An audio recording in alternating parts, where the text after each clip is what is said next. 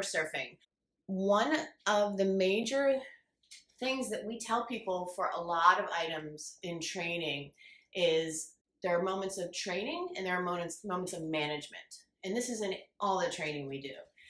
So by that I mean training is teaching your dog a skill that then helps them either learn to do something or help them to change a behavior that uh, maybe you want to alter somehow. So management is the prevention of the behavior occurring in the first place, which sounds maybe a little broad, so let me dig in slightly. So management in the in the instance of counter surfing would be preventing your dog from counter surfing in the beginning so that they're not practicing that behavior and therefore it becomes one of their go-to rehearsed behaviors that they're likely to repeat in um, in the future.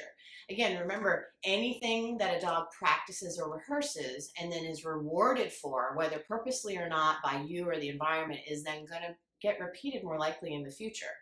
So if your dog has access to the countertops, and the likelihood is there that your dog is going to jump up on the countertop or say on the coffee table that's it's even if they don't find a morsel of food it's instantly rewarding for them because the act of jumping up and looking around was fulfilled.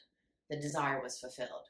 So um, if you can prevent that and manage their behavior so that they're not practicing counter surfing, you are going to make leaps and bounds. If a dog is not doing that, then they're not going to increase the likelihood of it happening more in the future because there's not that possibility, anticipation, or they're leaving the room. I'm going to see what's up on the countertop once they leave the room. And you know you've seen that look in your dog's eyes. You are walking away and they're like, ha, ha, oh, maybe, oh, yeah, I don't see them anymore. And they up to the countertop.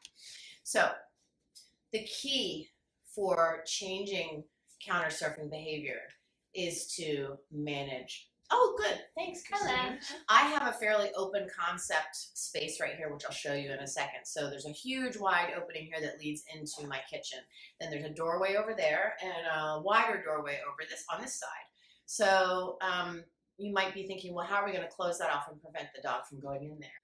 Actually, quite easily. I'm fortunate that I trained Jasper a long time ago to not jump up on coffee tables or counters. He's obviously a low rider, so it's hard for him to jump up on the counters, but he certainly can beg. And even the act of jumping up and begging or pawing at my legs is not only annoying, but is, again, practicing that sort of inappropriate behavior.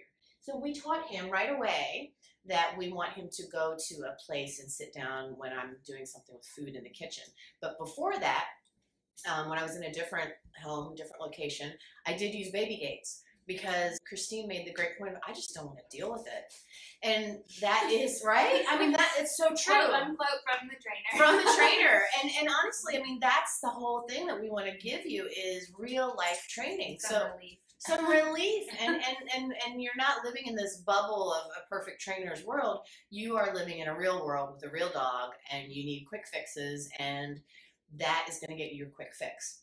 So I said to Christine, well, what do you think about um, about one thing that I suggest sometimes, which is, um, let's say you've trained your dog to leave it, meaning leave the counter um, surface or the coffee table surface alone. You know, don't go near that.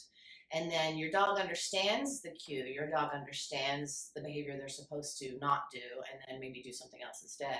But they choose to anyway and then I said, um, we're not into punishment per se because that teaches the dog nothing. What if you do a timeout?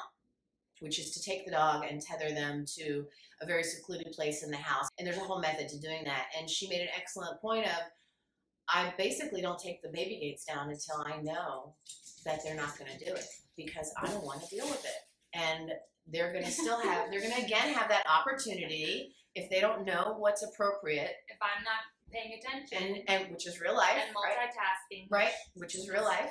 Yep. And you don't have one eye on them and one eye on whatever it is you're trying to do in your life, which is really difficult, then the opportunity is going to be there for them to do that. So unless they're there, you can feel secure, you can feel confident that your dog understands that the counter is a no-go surface. Use your baby gates. That's a second reason probably why I tend to avoid that too, aside from just not wanting to have to pay attention and not have to like drop what I'm doing Right. when I'm trying to cook or something um, to catch and do it. I find that there aren't too many behaviors that have been proofed where I, someone could say, "My dog knows that for sure." Um, 100% of the time. I could lay a hundred dollars down and my dog's gonna do it. Um, it's pretty rare. I think I've got like two things maybe between my two dogs that I would say hundred bucks they'll do it if I ask.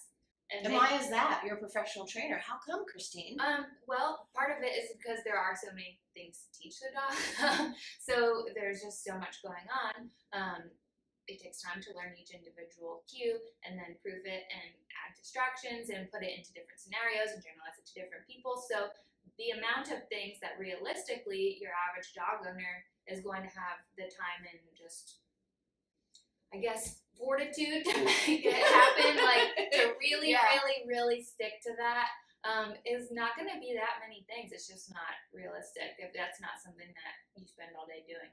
Yeah, absolutely true. And that's coming from a professional trainer. Now, mind you, she's out training other people's dogs a lot. So our time that we can dedicate to training our own dogs might be a little more limited. But honestly, it's that's like real life for you. Yeah. And so it's also about setting realistic expectations. You know, a lot of times um, when we think of dog training, we think, well, you know, you train your dog and it's done, and they know it, and we move on. That's not how it works. It's like any other muscle memory. If you haven't ridden a bicycle in a while, the first time you get on one, you're like, okay, right, I got this. It's all there, but I had to just check myself for a second. Or behind a um, a car when you haven't driven in a very long time.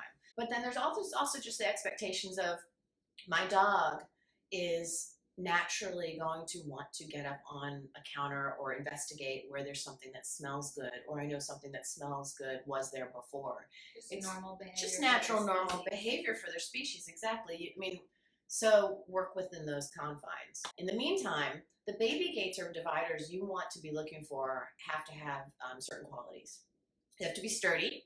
Um, if you have a larger dog or even a dog that's smaller that likes to jump and pounce. Um, also, I prefer to um, preferably have vertical slats in them so your dog can't just scale over the um, the barrier. Um, the ones that have the cross hatching, um, many dogs will just be like, well, this is awesome. Now mom and dad have given me a tool. I can just climb right over. Thanks. And before you know it, they're in there and you're wondering how they do that. Also, some dogs are um, really great at levitating, so they'll just hop right over it. And if your dog can scale a six foot privacy fence with coyote rollers on top. Wow, with coyote rollers. Yeah, and she's 35 pounds. Wow. But you know what? She doesn't jump our baby gate in the house. And do you think it's the sound of it? Um, no, I think it's because that is something that I was actually able to successfully let her not get rewarded for In there. doing it and Yeah. then rewarded her heavily for being on the other side. That's great. Let's circle back to that. And I have another interesting. that does it too. Yeah. So coyote rollers, for any of the of you who don't know what those are, are um, you can make them at home DIY with PVC and that sort of thing. But basically, it's a an, an item that is um, round shaped and it allows your dog. It does not allow your dog to get any traction going over the top of a fence. And it's a coyote roller because coyotes cannot cross into your fence either normally. Supposedly. Supposedly, but if they've got mad skills like Christine's dog, maybe they can. So they're, they're really big in the Southwest. So oh. we want something sturdy. We want something that they can't scale. And then we want something also tall because, as I mentioned, some dogs can levitate. So we certainly want something that your dog cannot just leap right over. you Um, can certainly stack two tall, two short ones. yeah, you can. Exactly. Um, two baby gates, one on top of the other, um, just wedged into the doorway. Um, plenty of plenty of ways to do this. Um, I find a lot of dogs even not just like the sound of the fence, whatever it is, when they touch it, and they'll back away from it, and so it instantly becomes this thing that they just want to stay away from, which is convenient if that happens. Yeah, I thought that all things go out. motivation right? Is Yeah. it is it i mean food is a very big motivation for an animal to get to and it's just so satisfying. It's almost becomes like a game um, and the curiosity of what could possibly be up there today and that random chance of reinforcement of it could be hot dog buns it could be my treats are sitting up there it could be anything so The grease that's the grease that's still that you didn't clean up. Yeah, they might smell it from in the living room and just be like, I gotta get in there. So remember, whatever it is that's drawing them to to getting over that barrier, a squirrel outside of um, a fence with a coyote roller, which is like, wow, that's really tough, but she made it. So remember, your dog's gonna have this motivation to get in there that's really strong. So it's gonna be really difficult, and you need to help them. It's not that they're trying to be bad or spiteful or sure it may have become even a game for them that let me see what I can find up there, but they're not trying to annoy you and they're not trying to be bad. They're simply investigating something that is amazing and um, perhaps smells good to them or is fun. Yeah, you can help uh, take some of the I guess pressure off too, just to know Yeah. that it is a normal thing for dogs to do. They Mhm. are opportunistic foragers, so they do, Yeah. as a species, scavenge for their food. And as we talked about in our enrichment um, Facebook Live, the seeking part, the foraging, It's very is satisfying. in and itself, of itself is fun um, and rewarding, whether or not you actually find anything. So it's really you're up, you're up against a lot, and they're up against a lot. So Mhm. um, just have some patience with yourself and with your dog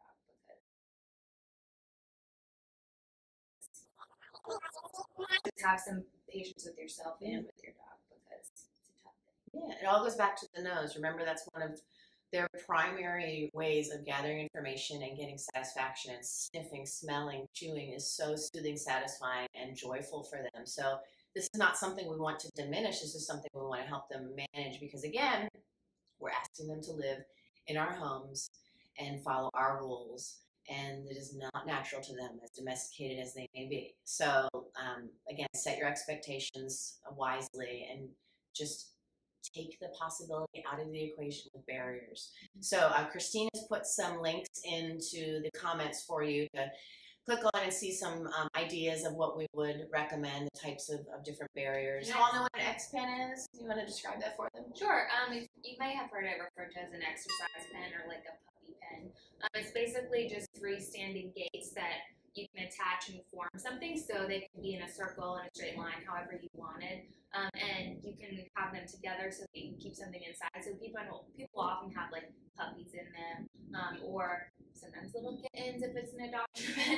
Um, and they sometimes will have a gate so they can come in and out, things like that. But it's pretty much a way to keep your puppy safely contained with more space than in a crate. But where, say, there isn't necessarily a room in your house that is able to be puppy proofed, um, you can kind of create that space Yeah, for yourself. and great for bigger or older dogs as well, no matter the size, because you have a containment area or you can cordon off one of your natural rooms to have them outside of where you want them to